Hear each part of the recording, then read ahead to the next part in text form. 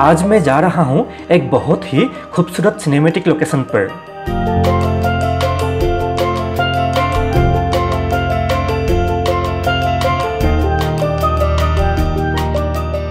लेकिन इस जगह के सुंदरता पर मत जाइए।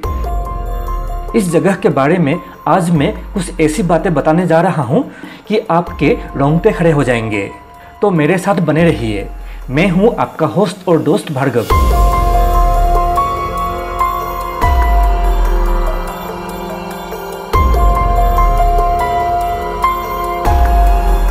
तो मैं अब पहुँचने वाला हूँ वहाँ पर। लेकिन आज मौसम अच्छा नहीं है। आप लोगों को वो नीला आसमान और बादल आज दिखने को नहीं मिलेगा। तो चलिए, आज का वीडियो शुरू करते हैं अटलांटिस सभ्यता के कहानी के साथ। आप लोगों ने अटलांटिस सभ्यता के बारे में तो सुना ही होगा। माना जाता है कि अटलांटिस उस समय धरती का सबसे खुशहाल जगह था। दूर दूर तक हरे भरे मैदान थे। बड़ी तादाद पे पशु पक्षी थे। और फलों के बगीचे भी थे, और वहाँ के लोग खुशहाल जीवन जी रहे थे।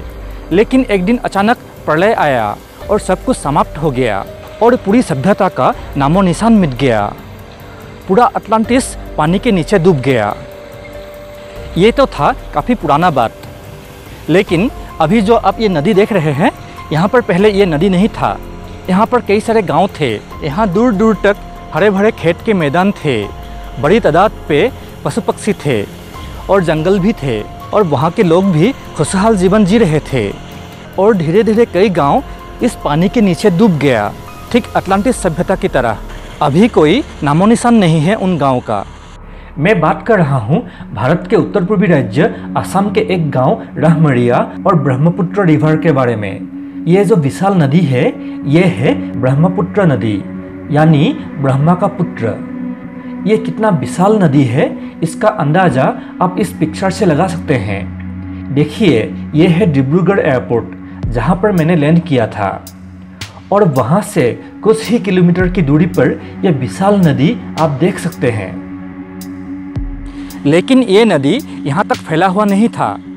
आज से 30-40 साल पहले यहाँ पर कई गाँव थे। लेकिन धीरे धीरे नदी के तेज बहाव से किनारे टूटने लगे और नदी का आकार बढ़ने लगा। कोई प्रिवेंशन नहीं होने के कारण से हालत यहाँ तक पहुँच गई कि एक के बाद एक गाँव नदी में समाते चला गया। कुछ लोग और पालतू जानवर भी मारे गए। और आज ये नदी यहाँ के मेन स्कूल के पास तक पहुँच गया है। इस नदी ने सिर्फ़ गाँव को ही अपने चपेट में लिया है, ऐसा नहीं है। ये देखिए डिब्रूगढ़ टाउन और इस टाउन के साथ नदी के आकार का कंपेयर करके देखिए। इस टाउन का भी बहुत बड़ा हिस्सा अभी पानी में समा गया है, जो यहाँ पर कभी था। Thanks to Google Earth Engine time lapse अभी हम समय में पीछे भी जा सकते हैं। चलिए समय में पीछे जाकर ये देखते हैं कि इस नदी ने कैसे गाँव को अपने चपेट में लिया था। चलिए चलते हैं सन 1984 में। तब देखिए, ये नदी ऐसा था। और अब समय के साथ सन 2016 तक ये नदी कैसे फैल गया है देख लीजिए।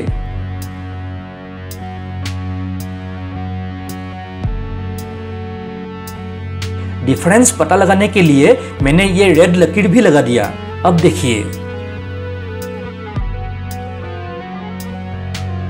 अब देखिए, सन 1984 में यहाँ पर कई गाँव थे और बस आठ सालों के बाद देखिए सब गायब हो गया।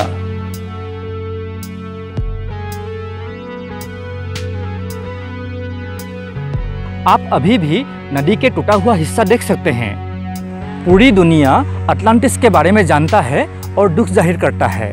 लेकिन भारत के ही कई लोग इस जगह के बारे में और यहाँ के लोगों ने कितने दुख सहे हैं, इसके बारे में नहीं जानते। अगर ऐसा ही चलता रहा तो बाकी बचे गाँव के साथ कई शहर इस नदी में समा जाएगा। तो दोस्तों, आज का वीडियो यहीं पर समाप्त करता हूँ। अच्छा लगा तो लाइक और शेयर करें। नए दर्शकों के लिए मेरा गुजारिश है कि हमारे इस चैनल को सब्सक्राइब करें, ताकि आने वाले नए वीडियोस आप देख सकें। और आपने अगर हमारे दूसरे वीडियोस को अभी तक नहीं देखा है तो ज़रूर देखें। तो मिलते हैं अगले वीडियो के साथ। नमस्कार।